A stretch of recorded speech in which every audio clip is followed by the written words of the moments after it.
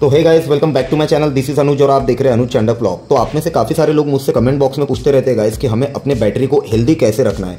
कैसे हमें अपने स्कूटर की सेल बैलेंसिंग करनी है ताकि हमारे स्कूटर के अंदर हमें रेन ड्रॉप इशू देखने ना मिले और लंबे टाइम तक हमारे स्कूटर की जो बैटरी है, उसकी हेल्थ जो है, वो ठीक से बनी रहे। तो दोस्तों, आज के इस वीडियो में मैं यही बात करने वाला हूँ कि आप अपने स्कूटर की जो बैटरी हेल्थ है, उसे कैसे ठीक रख सकते हो और अपने स्कूटर की जो सेल बैलेंसिंग है, वो आपको कैसे करनी है? तो गाइस सबसे पहले जान लेते हैं कि सेल बैलेंसिंग क्या होती है। तो दोस्तों, यहाँ पर मैं आपको बता देना चाहता हूँ कि सेल बैलेंसिंग एक सिंपल टेक्निक है कि आप अपने स्कूटर की जो बैटरी हेल्थ है, उसको बढ़ा सकते हो। और जैसे कि आप सभी को पता होगा ओला स्कूटर हो गई या फिर और भी कोई अदर इलेक्ट्रिक स्कूटर जो कंपनी अभी आ रही है गाइस वो हमें लिथियम आयन बैटरी ही प्रोवाइड कर रही है। वही अगर इनमें देखें तो ये जो सेल्स लगे होते हैं, इनके जो बैटरी सेल्स है, उनकी भी एक लाइफ होती है गाइस जो कि एक टाइम के साथ में कम होती रहती है। जैसे कि हम अपना स्कूटर डेली यूज़ करते हैं चार्ज करते हैं बट उसमें कुछ कुछ ऐसे सेल्स है, जिनका लेवल डाउन होते रहता है, यानी कि वो प्रॉपर चार्ज नहीं हो पाते।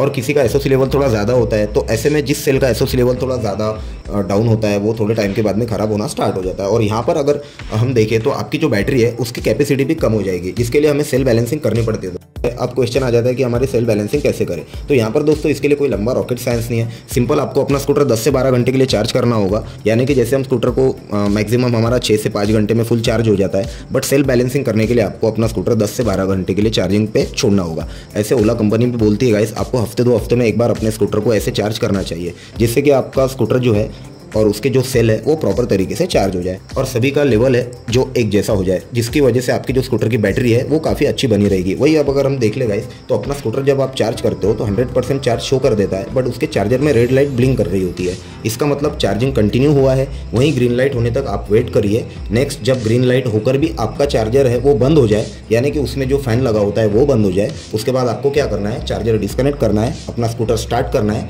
और फिर से चार्जर को लगाना है। तो दो तीन बार जब आप ऐसा प्रोसेस करोगे तो इस वजह से आपका जो स्कूटर की सेल्स है, वो अच्छे से चार्ज हो जाएँगे और आपका स्कूटर एक परसेंट बैटरी पे भी चलता रहेगा। और ये प्रोसेस पे आप दस दिन में एक बार आराम से ट्राई कर सकते हो, जिसकी वजह से आपके स्कूटर की बैटरी हेल्थ काफ़ी अच्छी बनी रहेगी और आपको कभी भी रेंज ड्रॉप का इशू देखने नहीं मिलेगा। बट अगर हम एक बात और देख लेगा इस तो बट जब से इनका जो मूव एस थ्री आया है, जब से इन्होंने अपनी जो चार्जिंग है, उसे थोड़ा सा इंप्रूव कर दिया है और उसमें इतना ज़्यादा अभी प्रोसेस बार बार हमें नहीं करना पड़ता है। एक बार में ये फुली चार्ज हो जाता है। अब बात कर लेते हैं कि आपको अपने स्कूटर की जो बैटरी है, इसका ध्यान कैसे रखना है? चाहे वो ओला हो या फिर अदर कंपनी की कोई भी आपकी ईवी स्कूटर हो, सभी का ध्यान आपको सेम रखना है। आपको सभी लोगों की जो स्कूटर की बैटरी है हंड्रेड चार्ज करते होगे। जैसे कि आपको स्कूटर का डेली एक साइकिल हो जाता है। मतलब अगर आप एक बार ज़ीरो से हंड्रेड आपकी स्कूटर को चार्ज करते हो तो एक साइकिल आपकी चार्जिंग की कंप्लीट हो जाती है। तो ऐसे कुछ साइकिल की लिमिटेशन में हमारा स्कूटर इलेक्ट्रिक आता है गाइस ओके यानी कि आपकी जो बैटरी है, उसका एक साइकिल खत्म हो जाता है।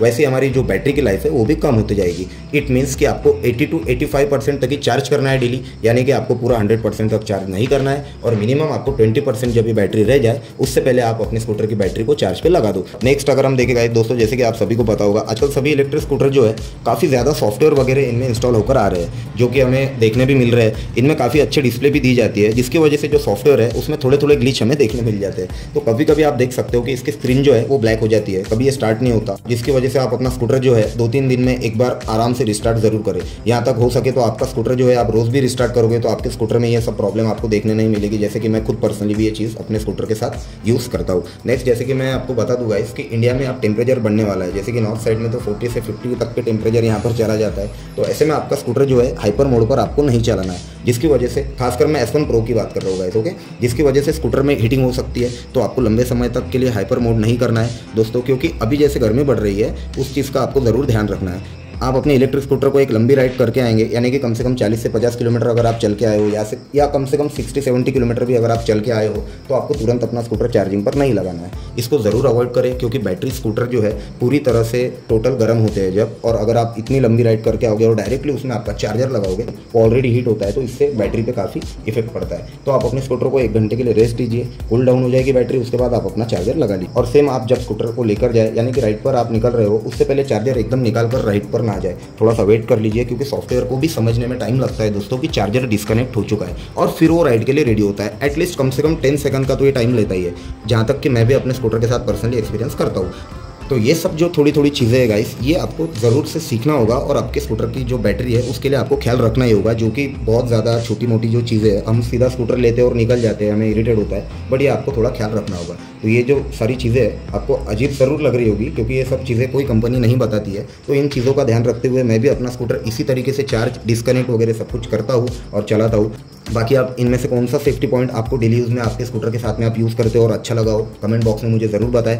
तो वीडियो अगर पसंद आई हो तो लाइक कीजिए, शेयर कीजिए सब्सक्राइब कीजिए। मिलते हैं ऐसे किसी नेक्स्ट वीडियो में। Take care bye